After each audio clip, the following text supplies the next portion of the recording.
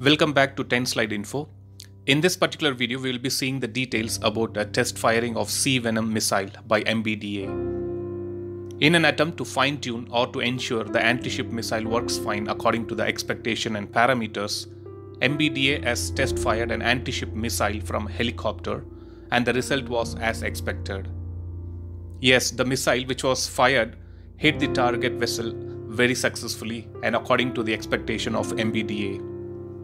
The missile which MBDA was testing is the Sea Venom anti-ship missile and the helicopter used to test fire was the Eurocopter Dauphin. Now what is this Sea Venom missile all about? The Sea Venom is the Anglo-French lightweight anti-ship missile developed by MBDA to equip the French and Royal Navy forces. It is expected to enter service with the Royal Navy in late 2021.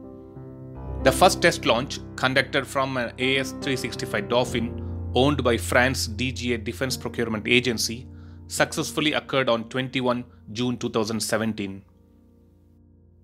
The Sea Venom anti-ship missile is designed as a successor to French Navy's AS-15TT and Royal Navy's Sea Skua missiles. The Sea Venom is designed to attack surface targets such as fast inshore attack craft ranging in size of between 50 to 500 tons, as well as larger surface targets up to a corvette size.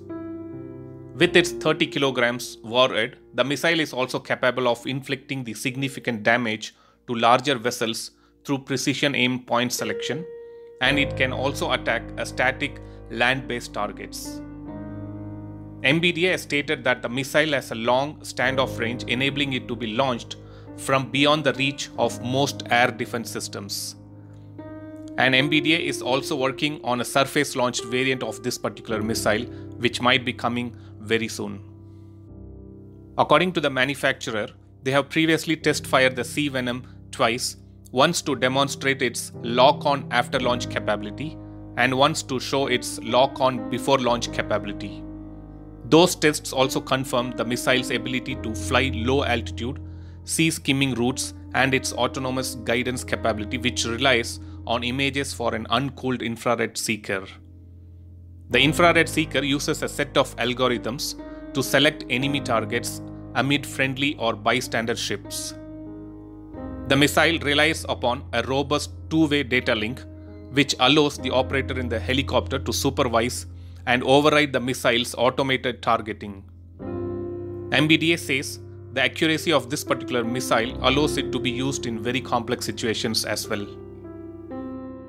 When in service, the Sea Venom will equip the French Navy's Airbus helicopters H 160, Eurocopter AS 565 Panther, and NH 90 helicopters. And coming to UK's Royal Navy, it would equip the AgustaWestland AW 159 Wildcat helicopters. So that was all about MBDA's successful test fire of Sea Venom anti-ship missile from a helicopter and also vital information on the intention and also the missile. Thanks for watching. I'll upload another video with a new defense update later. Please do subscribe my channel and hit the bell button next to it. And also feel free to leave a comment in the comment section. Thank you.